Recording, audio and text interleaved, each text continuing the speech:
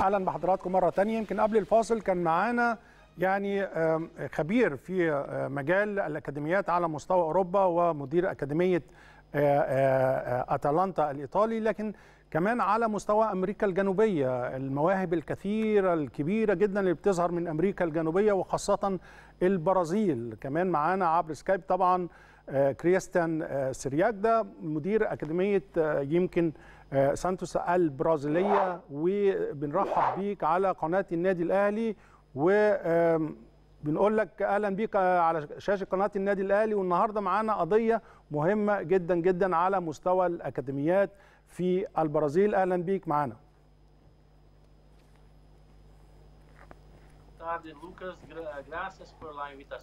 مساء الخير. مساء الخير على الجميع.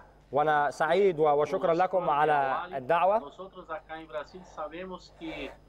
أنا سعيد جدا. لأن نحن هنا أيضا في البرازيل نعرف جيدا من هو الأهلي ونعلم قيمة الأهلي بطل أفريقيا وبطل العرب. أنا سعيد بتواجدي على قناة النادي الأهلي وشكرا لكم.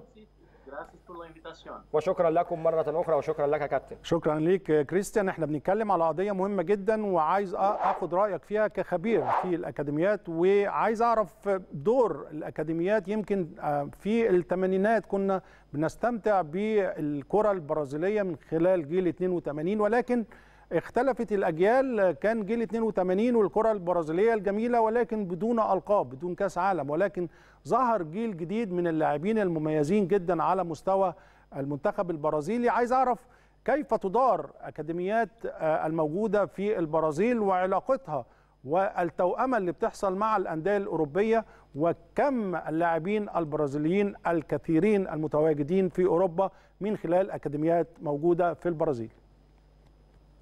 Sí, acá en Brasil to, tenemos eh, muchos eh, jugadores, tenemos también muchos في البرازيل نملك العديد من اللاعبين وليس لدينا أي مشكلة في عملية تفريغ اللاعبين أو تفريغ الناشئين أو إعداد المواهب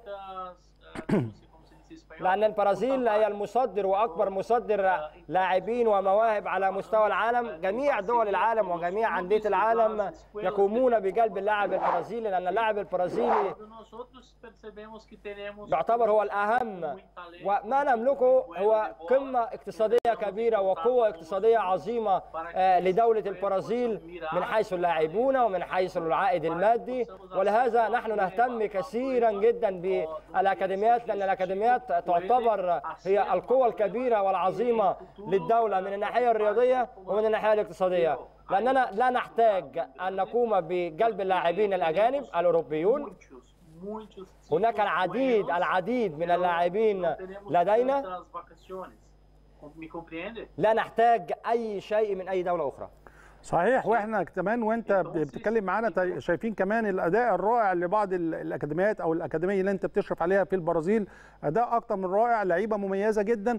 لكن خلينا نتكلم على جزئية مهمة كمان المدربين القائمين على تطوير هذه المواهب. المواهب موجودة بكثرة في البرازيل لكن كمان تطوير المواهب عن طريق مدربين. الفرق ما بين مدرب الاكاديمي أو مدرب الأكاديمية ومدرب الفريق الأول وهل هناك تواصل ما بين الفريق الأول ووضع استراتيجية واضحة للأكاديمية بتشتغلوا عليها خلال الموسم؟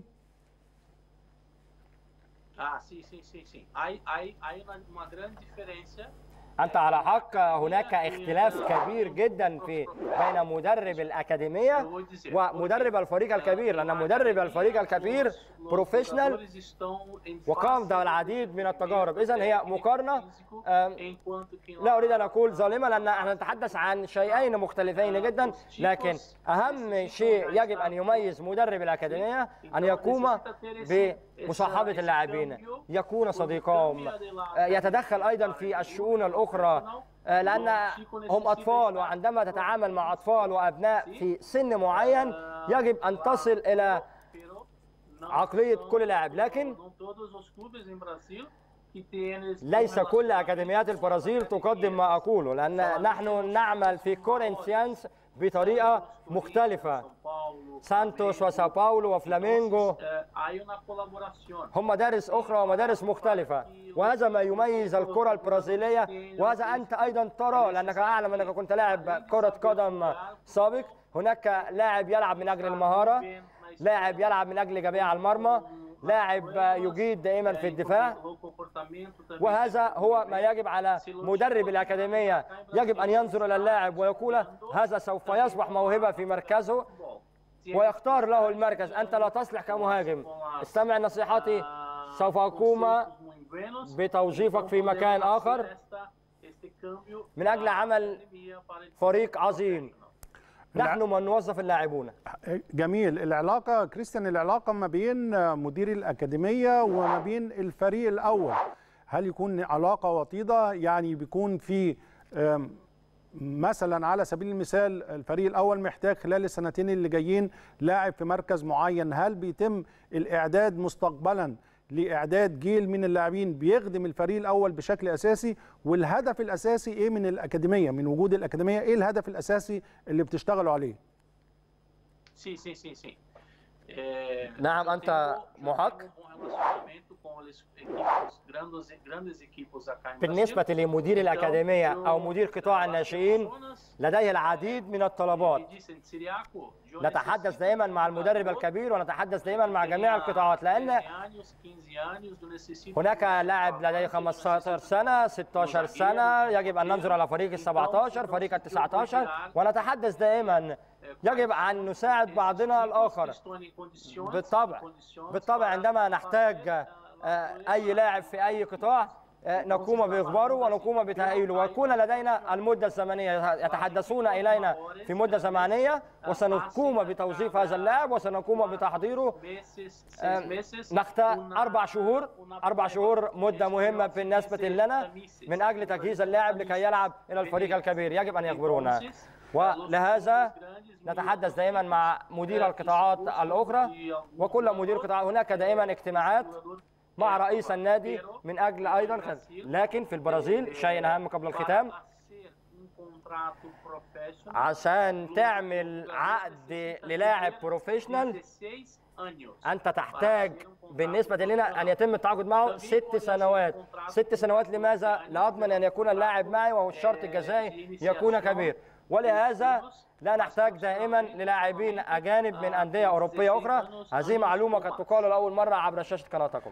يعني معلومة جيدة جدا كريستيان. طبعا الملف كبير والقضية كبيرة وأكيد هنستفيد بخبراتك كمدير للأكاديمية على مستوى عالي جدا من خلال إن شاء الله لقاءات أخرى على شاشة قناة النادي الأهلي. كريستيان شكرا جزيلا ليك.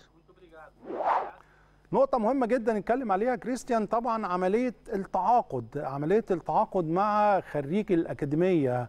مشكلة كبيرة جدا وزي ما أقول لحضراتكم بعد الفاصل في بعض الحاجات هقول لك إيه أفضل الشغل أو إيه الجدول اللي محطوط إن ده يقيس بيه نجاح الأكاديمي وإيه كمان جدول يقول لك لا الأكاديمي دي رايحة لطريق الفشل. من ضمن النقاط ديت هي عملية التعامل مع ال agent عملية التعاقد مع اللاعبين. هل التعاقد مع اللاعبين الصغيرين دول أي لعيب كويس عنده 18 سنة يكون يك... نكتب له حاجة اسمها بره بيتكتب half professional يعني عقد آه، يعني نص محترف لسه ما بقاش محترف في الكلام ده موجود بره وإمتى أقدم له عقد احتراف بشكل جيد يكون واحد من لعيب الفريق الأول؟ إزاي بيتقاس الجزئية ديت وإزاي التعامل مع عملية الايجنت ده كمان نقطة مهمة جدا هنفسرها لحضراتكم.